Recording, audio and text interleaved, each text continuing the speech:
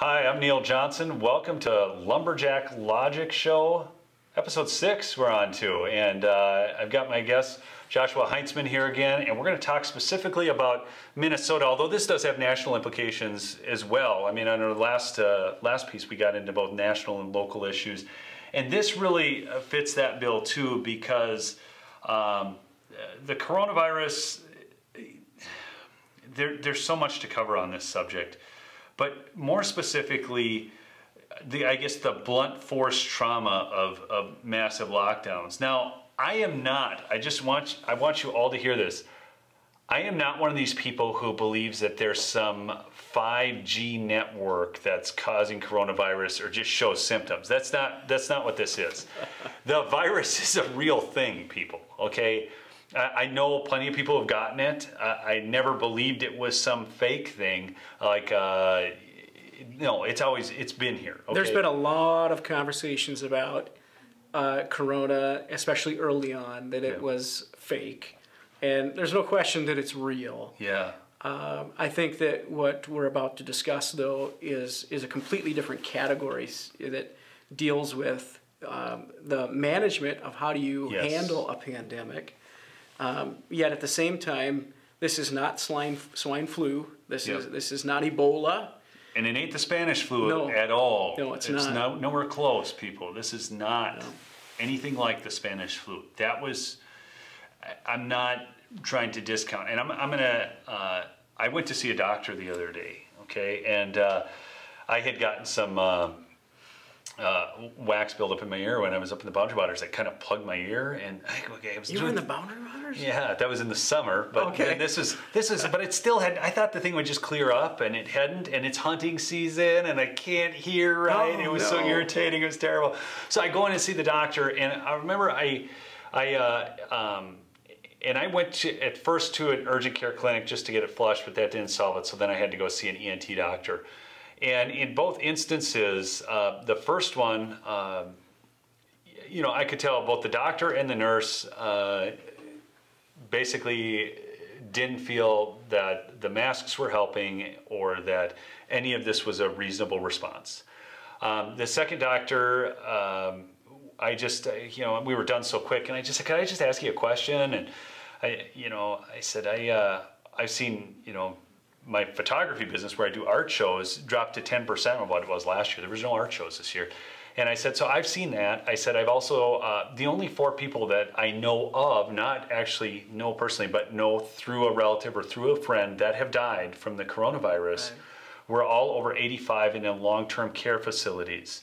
And they all had multiple underlying conditions. One was 100 years old. Um, and I think the greater tragedy was that those people were dying alone, not that they, um, you know, we're all dying. I, I just, I, and people are so afraid. That's why there's a verse in the Bible, and I'm not going to turn this into a sermon, but I, I, there's that verse in the Bible I think about all the time. It said, uh, where where it talks about he who loves his life will lose it, but he who gives up his life for my sake shall find it. Um, and I'm paraphrasing just a little bit there, but those are the words of Jesus. I mean, you can't love your life so much that you're in that much fear of losing it. And this is just my own personal take. I don't know what yours is on this yet, but um, he said we've we've just used too much of a a massive. Uh, I can't, but basically blunt force. Using a rock where a scalpel is what's needed. He said we need to allow people to get back to work. People need to work. Uh, not only just to keep the economy rolling, but he said for their own personal psyche. Right for, for their own feeling of self-worth. Well, uh, there's also, here again, when we talked about it in previous show, uh, the law of unintended consequences. And, you know, so the governor may have the best intentions. I'm not going to question his intentions, although I think that there's been some very poor decision making, and I can yes. give you some great examples. Please do. Uh, this, this thing uh, was just so poorly managed um, from the very beginning that it's just it's almost mind-boggling. You pointed out the age groups that are being most uh, seriously yeah. impacted by COVID. Yeah. What does this governor do?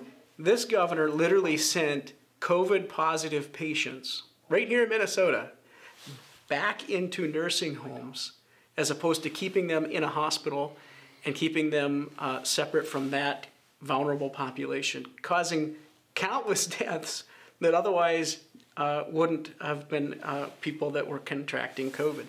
Uh, that's just that's just it's just it's, it's crazy. I can't I can't process the information. And why is it that in states around the country, Democratic governors were doing the exact same thing? Yeah. Either it's and Andrew thing, Cuomo is like hailed as some great, you know, and I, it can't be understood. I, do you know? I have determined this is this is my own personal thoughts on Tim Walz. I've I've uh, I've spent plenty of my life working in sales. Tim Walz is a salesman. I mean, he's kind of a but but he's to me he's the worst kind of salesman. He's like a snake oil salesman. And he gets all his charts and he walks out and he uses this modeling and I to go through a whole history of this would be impossible on the time schedule we have. But the modeling he's used has been every time proved wrong. I mean, we literally were buying buildings here in Minnesota. And when I say we, I mean the taxpayer. Yes. the taxpayer was paying for the governor's uh, poor data that he was using to make decisions because he thought that the bodies were going to pile up and wouldn't be able to be handled. And so he was buying bu buildings to the tune of almost, I think it was over $6 million yes. to, to, to refrigerate the bodies. And even in here again in my own town, we're buying refrigerator trucks. Yeah. Because that was the that was the information that this governor and numerous other folks around the state were using. All the while we're saying, wait a minute, what are you doing? It doesn't take a rocket scientist to look at the data across the border and say, what's happening in Wisconsin? What's happening in South Dakota? What's happening in Iowa, yeah. North Dakota? And shockingly, uh, they have seen a lower death rate per capita, with which in many cases they have wide open economies. Yes. While Minnesota had a higher death rate per capita. There's still numbers being compiled now, but we saw that all the way through the summer months into fall. And you know, you could make the argument that Minnesota is suffering now on a larger scale because we didn't allow that herd immunity to be built into yes. the general population because we locked everything down over the course of the summer. You couldn't go into a restaurant. You couldn't uh, participate in so many other events, weddings, so on and so forth. Now, uh, it's easy to be an armchair quarterback, and I'm going to go ahead and put myself in that category. But at the same time, I was there um, Republicans were in the legislature month after month after month saying, Mr. Governor, where are you on this decision making? Why are you uh, determined to be the one person making decisions for the entire state of Minnesota? How money should be spent? What precautions should be put in place? What businesses should be allowed to be open? Picking winners and losers yes. endlessly. And there was no response, no engagement with anybody outside of his circle. And it's just thing after thing, example after example of consequences. And to some extent, there should be some accountability. I don't think anybody's there trying to say, hey, we're going to beat you over the head, Mr. Governor. No, that's not the goal here. The goal is to learn from those mistakes, right? Yeah. And say, okay, well, what are we going to do going forward? And I think that, you know, the, the conversation that I heard prior to COVID was we're better together, one Minnesota. A lot of these sort of talking points. Apparently, we're better with just Governor Walz. Apparently, we can't seem to remember those kinds of things when, until it's convenient again. And then we'll be right back at it and having the same ridiculous conversations as Republicans are being told get in line, do the right thing, we're better together, you know. but at this point, we're not there. Clearly, the governor's just going to do whatever he wants to do. We're not. To, where's the political will in the Democrat Party right now to stand up to him? Is it is is there any semblance. I mean, so the Republicans could control control the Senate. Right. Uh, you did pick up a couple seats in the House this year, didn't you? We did. We picked up several seats, and so it's a much closer majority than it was previous. So what what are the numbers right now? Break that down. So we're sitting uh, in the House. Um, I want to say at um, sixty. I'm going to have the wrong number, so I'm not going to say it. okay. Well, it's it's it's very close. We're five seats away from taking that majority from Democrats. Okay. So uh, five seats, people. 2022, five seats. Five seats. So our argument was coming into this election cycle. We're, we're looking to take the House, hold on to the Senate, and the first thing we would do in the state of Minnesota, and we said this right on the Capitol steps, Paul Gazelka, leader in the Senate, Kurt Daudt, leader in the House, said, We will end the emergency peacetime declaration. And a lot of times people get this a little bit sideways because every state's a little bit different. And in Minnesota, um, you, you, you don't have the same processes in other states. We don't have to meet and, and vote to give the governor the authority to continue his emergency peacetime declaration. The governor simply needed to call us back into session and give us the opportunity to vote. And so in the House, uh, Melissa Hortman, the Speaker, has uh, has stopped us, blocked us every single time. Won't even allow it to come to a vote.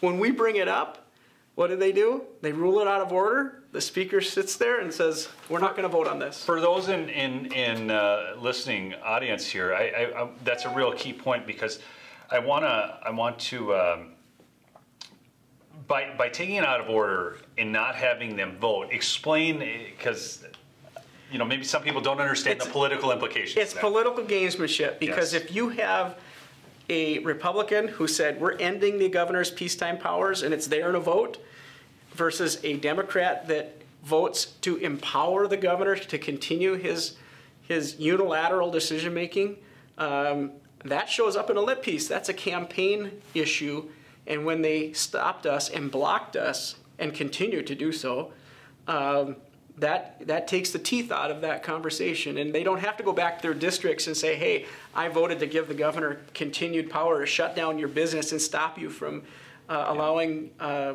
your enterprise to continue to." It gives them a cloak to hide behind, basically, because they never have to register their vote in, in a public log on this. Okay, That it's never recorded and it's never said, "Oh, this is how they voted." They could try and play both sides of the fence. Well, you know, I mean, we just can't get it to come up for vote. I mean, they can say things like this. even though- Everybody has heard the conversation. Oh, we just all can't get along. It's just Republicans and Democrats fighting, and you know, there's just so much division and divisiveness in politics. Oh, come on, let it come up for a vote. Yeah. At least people, you know, they elected us to go to the Capitol and to uh, let our position be heard. And when they won't even allow it to come to a vote, you know, there again, come on. Yeah, It's just ridiculous. This is not this is not real, folks. And This is I, I think this is one of the great tragedies, especially when we go to the national level. I believe that the the the Congress has really abdicated its responsibility to the courts, and now that's why we have judicial activism. Uh, they are not writing the laws. They are not doing the things because they don't even want to be recorded to vote because they're so concerned about maintaining their power. This happens on both sides of the aisle. I mean, I am not going to say that that's strictly a Democrat issue. It's just that Nancy Pelosi's in there right now. I was very frustrated with Paul Ryan. Um, you know, back uh, during the Obama Previous years, speaker, right? I, it, it, that was uh, yeah, and and actually, uh, you know, in uh, the first uh, two years with with Trump, there there more should have been done, but uh, there was not the political will within the Republican majority, and I.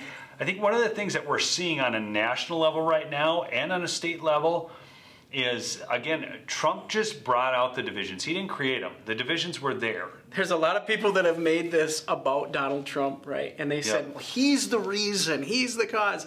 Absolutely not. That stuff was always there under the surface, and he just happened to be the guy to say, hey, wait a minute, there's a problem right there. Whether it's media, Yeah. which is clearly biased, and he recognized and called them out as fake news, because in many cases they were. And of course, they don't like being called out. No.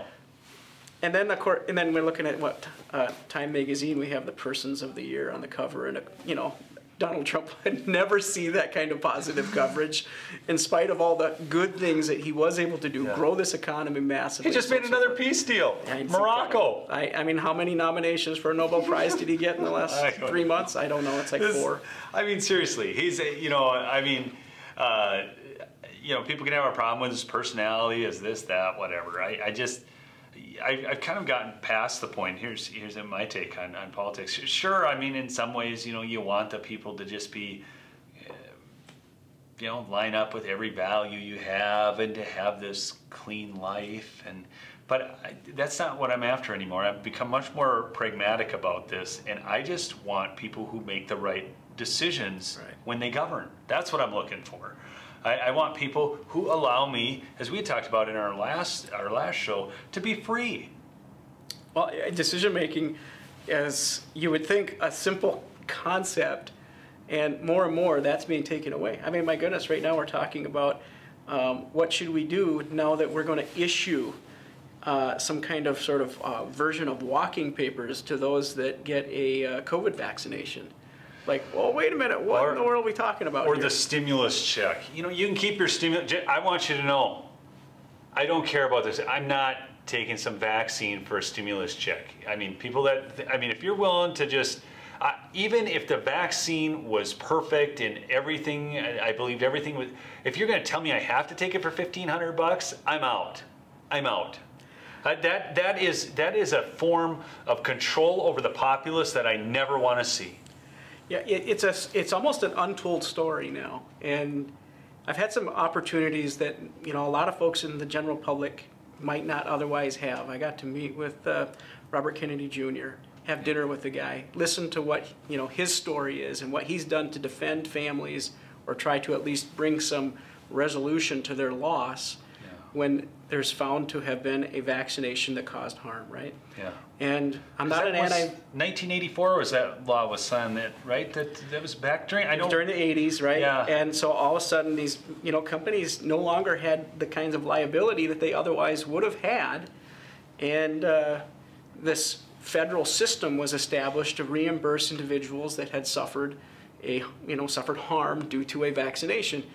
Um, that conversation is such a taboo now. You're not allowed to even talk about the fact that there have been people who have suffered, um, you know, children that have been injured by a vaccination. Does that mean nobody should ever vaccinate again? No. But it does mean we should be able to look and be critical of, okay, well, what is causing the greatest benefit as compared to risk? Yes. And in this uh, COVID conversation, uh, there's obviously a huge amount of people that have contracted COVID, that have uh, had asymptomatic um, uh, response to COVID, or maybe if they were sick, they recovered.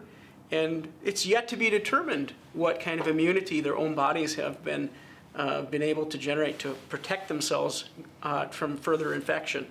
Uh, there's still a lot of science that needs to be done. And then even when it comes to the vaccination, yes, on some level it's groundbreaking, very exciting. I'm not a scientist, but I'm reading the same journals yeah. and looking at the same information as anybody can if they want to. Yeah. And, you know, I can take away some good, and then I can also say, I think reasonably, that there is some risk.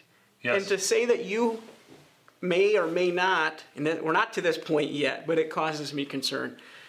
Is there a level to which a politician would say, or a point to where a, a politician would begin to say, you won't be allowed until you have this certificate demonstrating that you've had a vaccination to participate in your, your, your, your state's economy or a federal economy.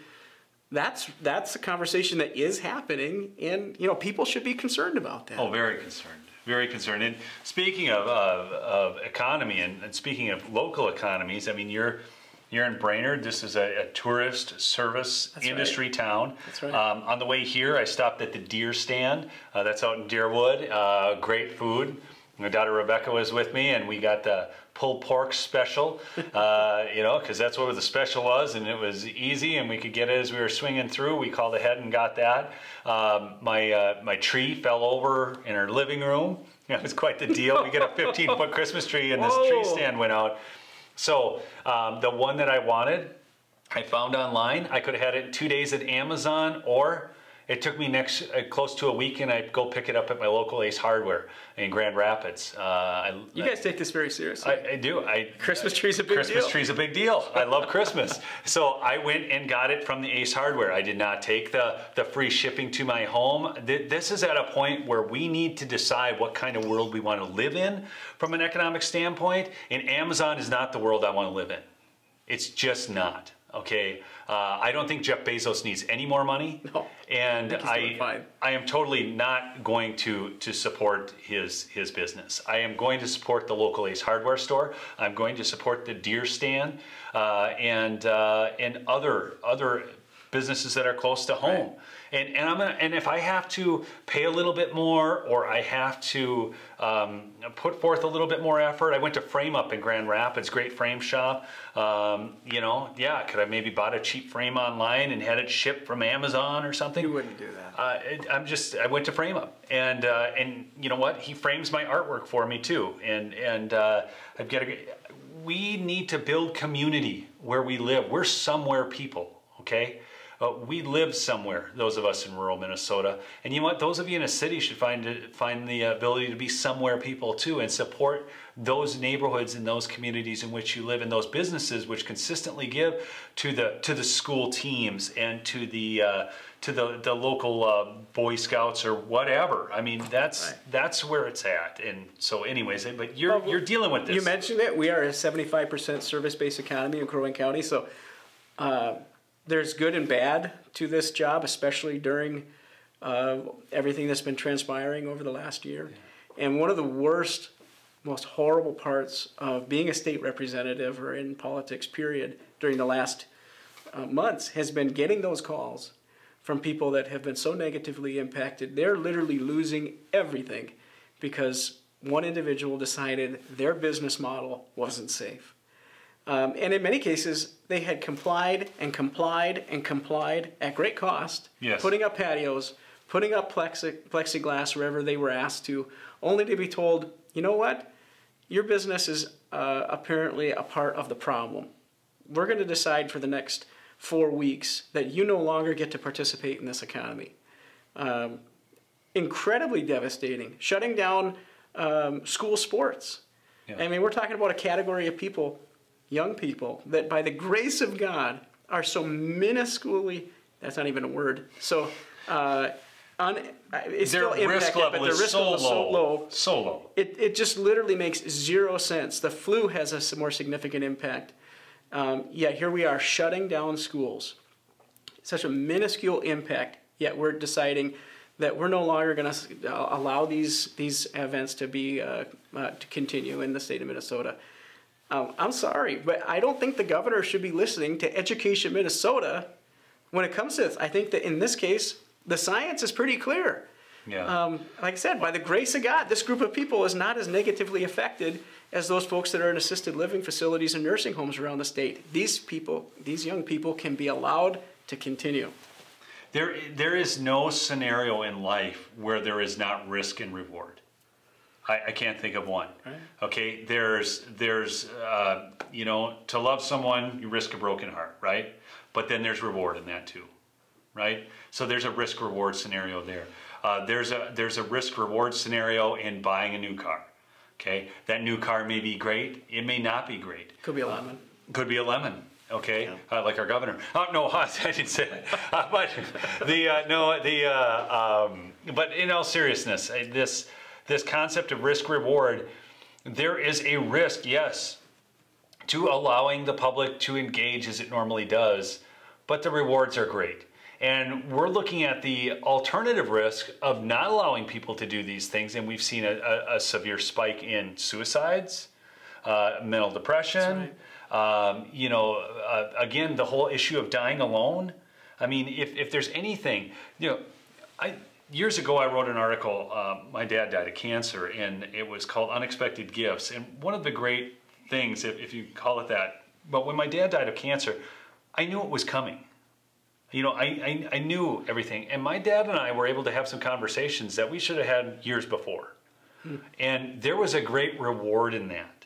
Uh, and we were able to uh, just deal with certain things and uh, certain questions about uh, you know, life and, and its, its meaning and eternal life and, and a whole host of things that if we did not have that time together, uh, we would not have been able to have that. And, you know, my dad was going to die anyways. Uh, you know, by the time they caught it, I think the cancer was stage four lung cancer. Um, he, he started eating healthy right away. He, found, he discovered what a kiwi fruit was. That was some of the funniest memories. But um, but that was a it was a gift to have that time with him and know that it was coming. Um, and to have those conversations, and I got to tell you, those are some of my most treasured conversations with my dad. Were in the last six months of his life, and it's sad that it maybe took that long. Fine, I mean, people can say a lot of things, but the fact is, it did. I don't think anybody's advocating, uh, neither of us, that we should take more risk and allow more people to be harmed. The question is, what should the response be? Yeah. And if the response includes separating families from each other during life's most difficult moments, I think that's a mistake. Yeah. There should be a way to allow them to be there with their loved one during a difficult time. Um, school sports, uh, education, all these categories of businesses that can function underneath safe guidelines. They complied and they complied and they complied um, to try to uh, meet those demands time and time again. And in the end, they were still singled out. Uh, and so that isn't the science. And I think that's the argument that I'm trying to make, and a lot of other people are trying to point out. Um, we can uh, socially distance, we can do these things that are proven to stop or slow the spread of COVID. That's great. And then also, we should be celebrating the advances in the care that has been provided. At the same time that you've seen increasing cases of COVID, you've seen decreasing cases of ICU uh, beds being taken up, or in cases where they were, the death rate has been reduced. So well, the death rate from this has fallen dramatically. Massively. Massively. I mean, so cases are rising, but the death rate uh, by case is way down. And, you know, I, I don't know. I mean, this gets into a, a whole host of things, and I know we're running up on the clock here, but, you know, again, of the people I know that died, uh, those people were most likely going to die this year anyways. And, and again, I'm not trying to sound calloused about that, but the, I think the tragedy was that they were unable to see their family. Now, I do know people. I know I know of one person uh, through a friend who was down to like five percent lung capacity. So some people have gotten it really, really bad. Now she pulled out of it, and, and everything was fine. Um, you know, I, have seen people with the flu-like symptoms. I think it ran through our home. Uh, I, I, I know other people, all they did was lose their sense of smell, and some people who had no symptoms at all.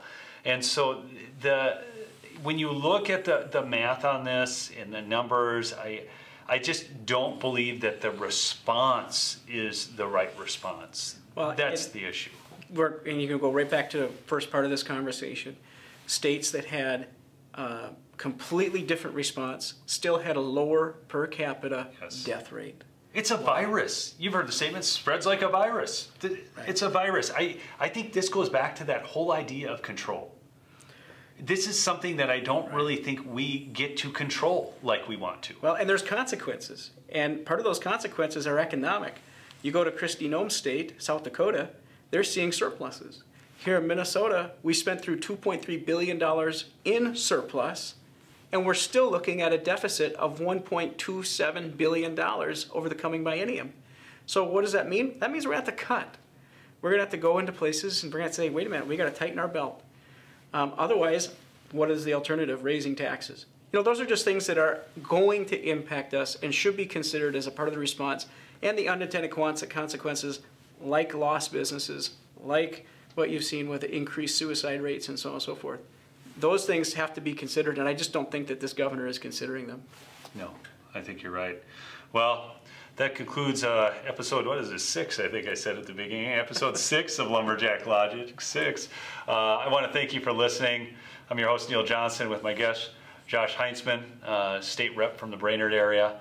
And thanks so much for coming on the show, Josh. Glad to be here. All right. Thanks.